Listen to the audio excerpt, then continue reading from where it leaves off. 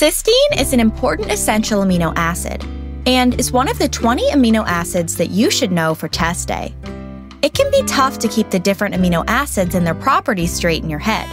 So, in this visual mnemonic, I'll give you an easy way to remember everything you need to know about cysteine.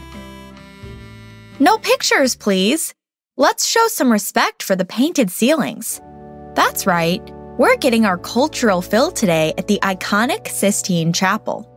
Except, in the Pixorize universe, Sistine is spelled with the letter C, as written on that sign. By the way, the name Sistine sounds exactly like cysteine, doesn't it? Sistine for cysteine? That should be easy enough. This name should also help you remember cysteine's three letter abbreviation, CYS. Should be pretty straightforward. Let's keep going. There's clearly a lot to see here. Watch the full version of this video and learn more about this topic by clicking above the left arrow. Click above the right arrow or visit pixorize.com to explore other topics we cover in videos similar to this one.